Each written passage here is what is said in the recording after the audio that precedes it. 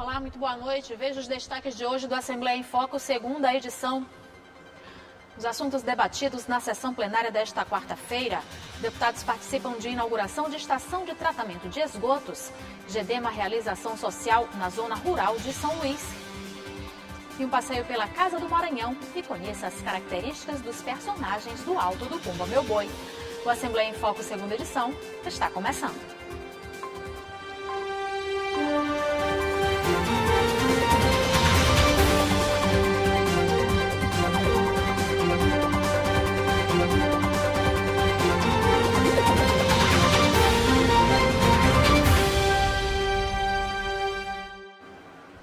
Entre os assuntos que repercutiram na sessão plenária de hoje está os investimentos no saneamento básico do Estado.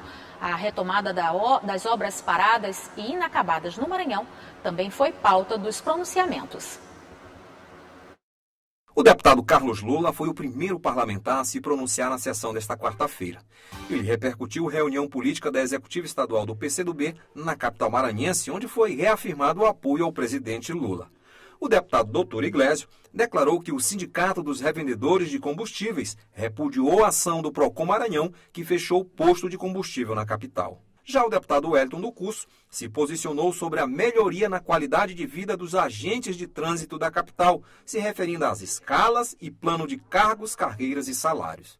O deputado Rafael se posicionou em defesa da melhoria da política de saneamento no Estado. Nós dialogamos muito ontem sobre saneamento fazendo referência à nossa frente parlamentar, deputado Ricardo Arruda, que nós criamos aqui na semana passada, estamos planejando de instalar daqui a 15 dias aqui na Assembleia, em defesa do saneamento do Maranhão. O governador Carlos Brandão está aí pleiteando recursos é, originários de, de, de fontes externas e me colocou que parte desses recursos é para investir em saneamento. O deputado Neto Evangelista parabenizou a organização do Arraial do Ipem, que tem atraído maranhenses e turistas. Era um clima, deputada Daniela, de um verdadeiro São João, um clima, inclusive, que eu, como ludovicense, não, não via há muito tempo.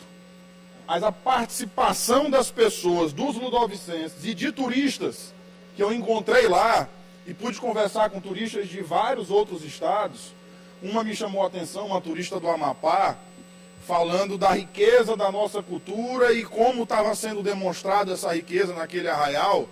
Chama atenção porque, de fato, o nosso São João deixou de ser algo apenas de São Luís, apenas do Maranhão e passou a ser algo do Brasil. O deputado Júlio Mendonça também ressaltou o significado das melhorias no saneamento básico no Estado principalmente neste momento, quando se comemora a Semana do Meio Ambiente.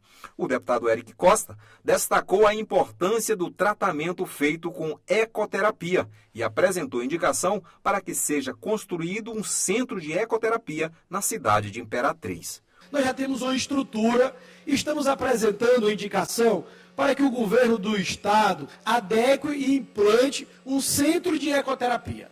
E com isso, deputado Lula, que é o entendedor da saúde, nós estaremos proporcionando aos pacientes de toda a região tocantina tratamento adequado através de profissionais. Aí nós teremos fisioterapeutas, terapeutas ocupacionais, fonoaudiólogos, toda uma estrutura para que nós possamos melhorar o atendimento desses pacientes. E a, a sua eficácia, a sua eficiência já é comprovada. O deputado Ricardo Arruda usou o grande expediente para declarar a importância em se retomar as obras paradas e inacabadas no Estado. Iniciamos no início da legislatura um diagnóstico a respeito da situação dessas obras, fazendo um levantamento do estado em que essas obras se encontram no estado do Maranhão.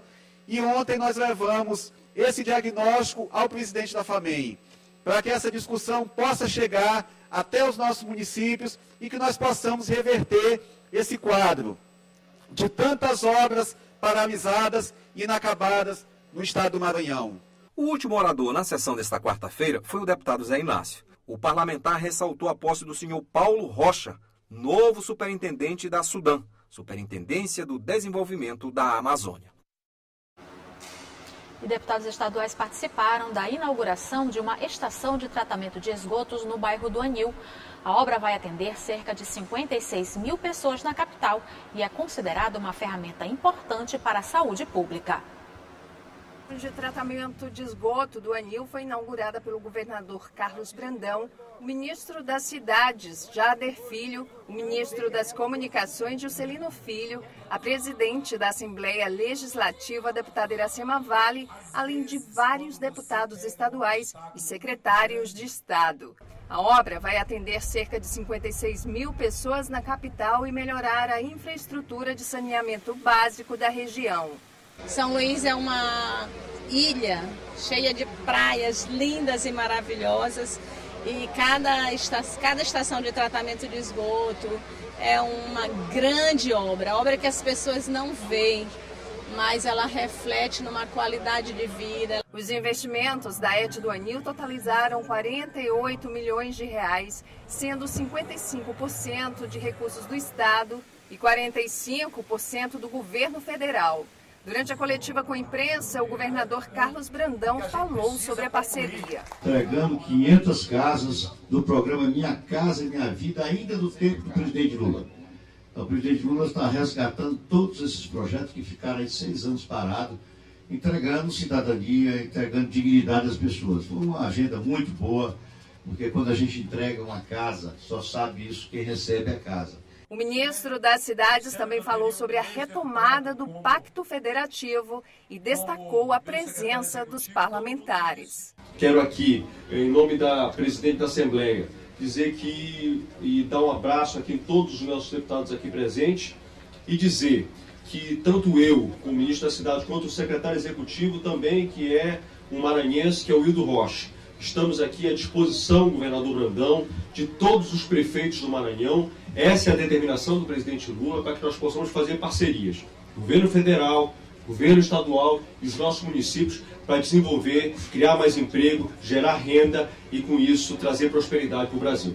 Com capacidade para tratar 162 litros de esgoto por segundo, a ET do Anil vai impedir o despejo de poluentes nos rios da cidade contribuindo para a balneabilidade ambiental. Um dos maiores problemas que nós sofremos, inclusive dentro do próprio turismo, é a poluição das nossas praias.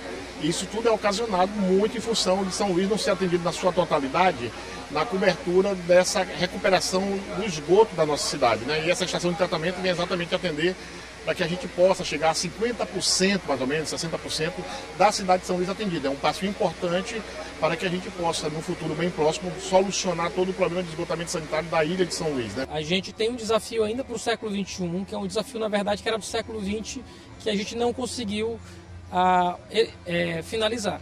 Que é exatamente a gente ter esgotamento sanitário para toda a sociedade, ter água como um bem que é um direito fundamental para todos. Então, quando a gente está falando de esgotamento sanitário, quando a gente está falando em ampliação dessa capacidade no Maranhão, a gente está falando ainda de algo que a gente devia ter resolvido há 100 anos, que o Brasil devia ter resolvido há 100 anos. Então a gente está atrasado e com pressa. E na Semana do Meio Ambiente nada melhor do que a gente mostrar que sim, a gente precisa continuar tendo investimentos públicos nessa área. Porque não é só esgotamento sanitário. A gente está falando de meio ambiente, mas a gente também está falando de saúde. Saúde coletiva e saúde individual de cada um. A cada real que a gente investe aqui, são muitos reais que a gente economiza em saúde pública. É uma obra emblemática, inaugurada no momento oportuno, na Semana de Meio Ambiente. E qualquer estação de tratamento de esgoto que se implante numa cidade, ela tem vários ganhos. Tem o ganho imediato na questão ambiental, ou seja, é, melhora a qualidade dos nossos recursos hídricos, nossas praias. Tem o ganho de saúde pública também, porque todo recurso que é investido em saneamento básico tem repercussão direta na saúde e demonstra o compromisso do governo do Estado com a saúde da população e com o nosso meio ambiente. É importante ter é, ações como essa, porque você vai fazer o tratamento sanitário da nossa grande ilha e isso vai melhorar a qualidade de vida é, da nossa população. Vamos preservar as nossas bacias e assim vamos estar preservando é, o nosso meio ambiente. Os deputados também disseram que a nova estação de tratamento de esgoto também é uma importante ferramenta para a saúde pública e que os governos federal e do estado estão de parabéns pela obra. Vai dar tranquilidade aqui a 12 bairros, né, tanto na questão da, da, do tratamento de esgoto, como também na universalização da água que está sendo trabalhada por esse governo para acontecer em toda São Luís. Nesse momento, essa ET ela vem com grande relevância no momento da Semana do Meio Ambiente e a questão social que o nosso governador Carlos Brandão tem se preocupado com todos os maranhenses. Saúde, é, saneamento básico é caso de saúde pública. Mais uma estação de tratamento de esgoto aqui no bairro da Alemanha e é uma importância imensa e principalmente na semana que nós comemoramos o meio ambiente. Sem sombra de dúvidas, nós sabemos o quanto a política de saneamento é importante, principalmente para a saúde pública.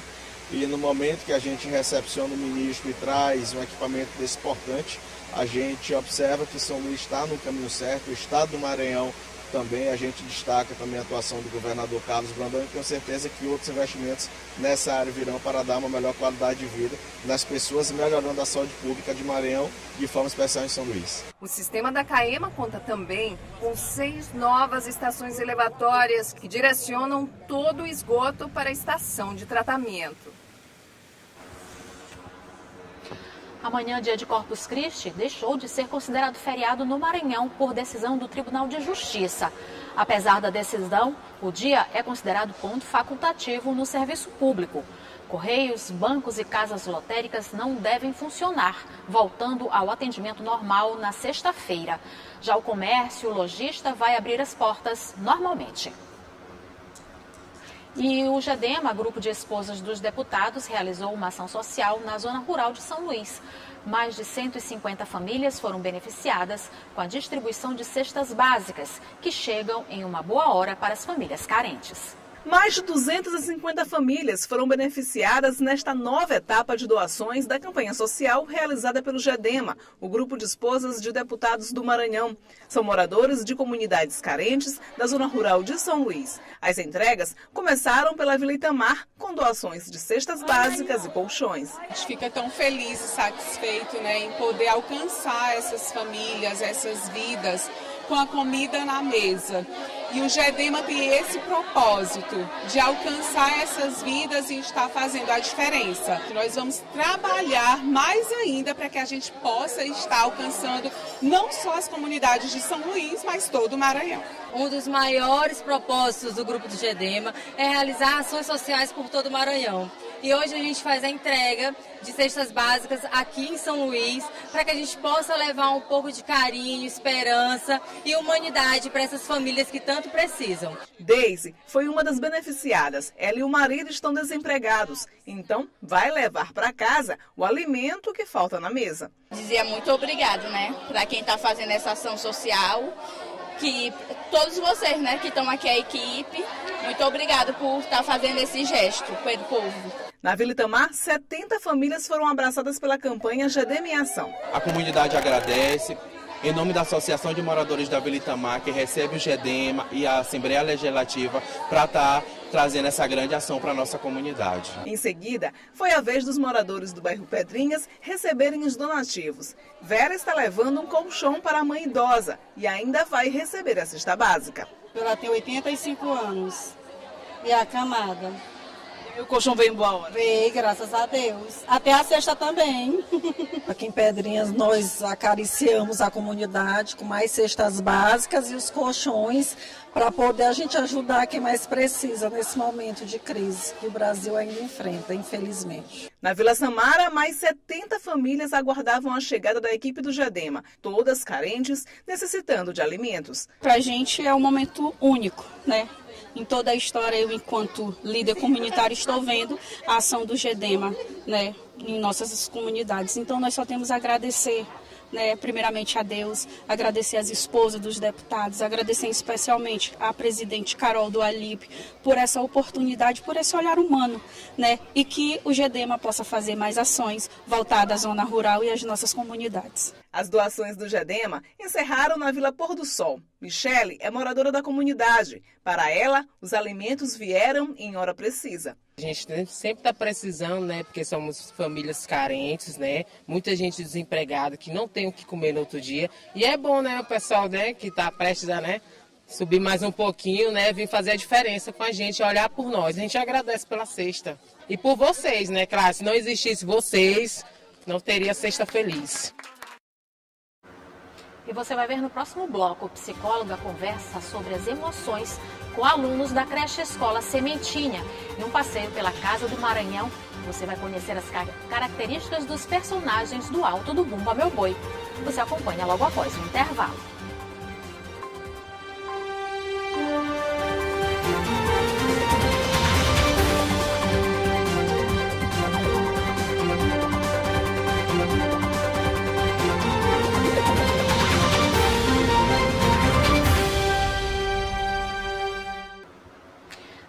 Da creche Escola Sementinha participaram de uma atividade onde o foco principal foram as emoções. Com a ajuda de uma psicóloga e de personagens do universo infantil, os alunos tiveram a oportunidade de entender melhor sobre os sentimentos. Foi uma manhã diferente na creche escola Sementinha. Uma pausa nos estudos e no corre-corre do dia a dia para a participação da criançada no projeto batizado de Como Eu Me Sinto. Um bate-papo traduzido para o universo infantil sobre as emoções. A iniciativa foi conjunta entre a creche escola Sementinha e o Departamento de Saúde e Medicina Ocupacional da Assembleia Legislativa do Maranhão. Então, hoje trouxemos os alunos gradativamente do ensino fundamental para que eles externassem um pouco, aproveitando o contexto do filme divertidamente e desta forma ajudá-los a identificar algumas dessas emoções e de que forma eles podem trabalhar cada um dos sentimentos, cada emoção, se conhecendo um pouco mais, já aprendendo a lidar com aquilo que está no seu interno. No slideshow, personagens de desenhos animados que as crianças adoram, uma estratégia para tornar mais dinâmica a apresentação. E deu certo. O Daniel prestou atenção em cada detalhe e falou sobre o que aprendeu. A gente se sentir alegre, também como controlar a raiva e o medo. É importante para as crianças entender né, que, as, que as emoções fazem parte de quem somos. Né? E não podemos fugir delas. Portanto, a melhor, a melhor forma de lidar é validando o que elas sentem no dia a dia né? É, são, são coisas básicas, eles sentem no dia a dia, na escola, né? Com os, com os amigos, né? A questão da, da raiva, do medo que eles sentem, né? da tristeza. Então, assim, é importante a gente trabalhar essas questões para para gente de forma dinâmica, né, que a gente está trazendo esse tema, para eles aprenderem a lidar, né, com as emoções. E agora vamos ver como fica o tempo nesta quinta-feira. Ananda Fontinelli traz para a gente a previsão para amanhã. Boa noite, Ananda.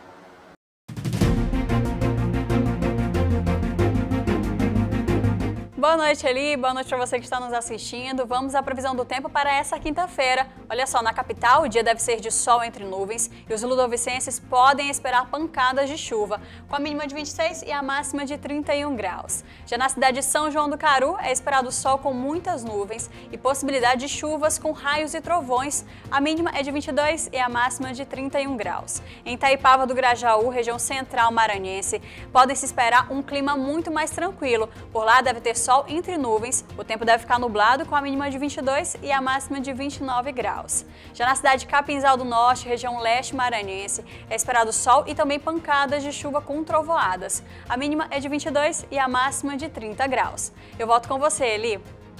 A gente vai falar sobre o nosso patrimônio cultural nesse período, que é o Bumba Meu Boi. Para melhor entender sobre esse universo do Bumba Meu Boi, com as características dos personagens, uma ótima dica é dar a volta numa, na Casa do Maranhão, que fica no Centro Histórico de São Luís. Uma exposição permanente mostra aos visitantes a função e os detalhes de cada elemento que compõe o alto do Bumba Meu Boi, principal brincadeira do nosso festejo junino.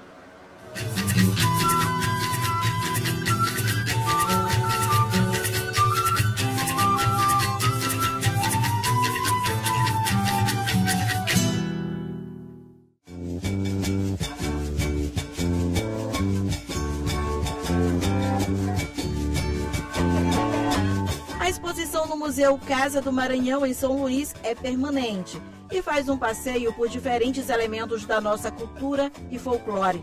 Pelo cenário, dá para perceber que o Bumba Meu Boi está na maioria dos espaços. Também, com tantos sotaques diferentes, só aqui pelo menos quatro deles estão representados. Então aqui nós temos o Casumbá, que é do sotaque da Baixada, o sotaque de Pindaré. E uma curiosidade é que ele acompanha um sininho e esse sininho vai chamar o boi de volta à vida. Já aqui do lado nós temos o caboclo de pena, que é do sotaque da matraca, e ele tem uma das roupas ali mais pesadas que fazem parte dessa brincadeira. Já aqui na frente nós vamos conhecer outro personagem, que é o nosso caboclo de fita, que aparece principalmente dessa forma no sotaque da zabumba, tendo ali o canutilho para fazer a roupa. Aqui do lado nós já vamos ter as nossas índias do sotaque da orquestra que usam um cocar bem alto e acompanham um bastão para poder fazer a coreografia. E para fechar, nós temos uma curiosidade sobre um personagem que é a burrinha, que vai aparecer em praticamente todos os sotaques porque ele vai guiar o miolo do boi durante a brincadeira. Nesta sala, o mourão, uma espécie de árvore usada nas festas de morte do boi. Nessas pequenas caixas são colocados doces, um agradecimento à comunidade que faz o boi dançar o São João inteiro. Quem vem conhecer essa exposição permanente aqui na Casa do Maranhão não deixa de se impressionar com a grandiosidade que é o boi famosão. São 3 metros de comprimento e cerca de 150 quilos. Para fazer esse gigante se movimentar no papel de miolo do boi, são necessários 14 homens ali dentro. Agora, desde 2015, o famosão não arreda o pé aqui na Casa do Maranhão. E ele traduz um pouco a dimensão que é o Bumba Meu Boi dentro da festa do São João aqui no estado uma riqueza tão imensurável que desde dezembro de 2019 o Bumba Meu Boi do Maranhão é patrimônio cultural e material do Brasil. Então, o Bumba Meu Boi ele passa um processo histórico bem interessante, né? Hoje a gente reconhece ele como patrimônio imaterial e cultural desde 2019, mas ele passou por períodos de proibição durante o século XIX por ser uma festa de escravizados. Então, hoje ele tem esse destaque por ter ali mais de 450 grupos no estado todo fazendo essa brincadeira, então envolve várias pessoas, envolve vários agentes sociais. E é muito importante a gente trazer essa festa para dentro dos museus e também ter essa valorização que tem hoje em dia. O Complexo Cultural do Bumba Meu Boi divide espaço com outros cinco patrimônios culturais e materiais da humanidade registrados no Brasil de 2003 até agora. A Arte Silva foi a primeira. Depois, em 2005, o samba de roda no Recôncavo Baiano, seguido do frevo em 2012. No ano seguinte, 2013, o Círio de Nazaré e a roda de capoeira em 2014. Para esse título consagrado tão imponente, existe por trás o trabalho de mestres que imortalizaram seus nomes no fazer dessa cultura. Do figurino inconfundível de mestre Apolônio, lá do Boi da Floresta, sempre com esse chapéu gigante, ao uso do canutilho no bordado das indumentárias, iniciado por Laurentino no Boi de Santa Fé, até a composição de Humberto do Maracanã, Maranhão, Meu Tesouro, Meu Torrão, um dos hinos mais conhecidos dos boieiros. O Bumba Meu Boi do Maranhão transcende a notoriedade que qualquer título pode dar. É vivo, é presente e sem chance nenhuma de se perder no tempo.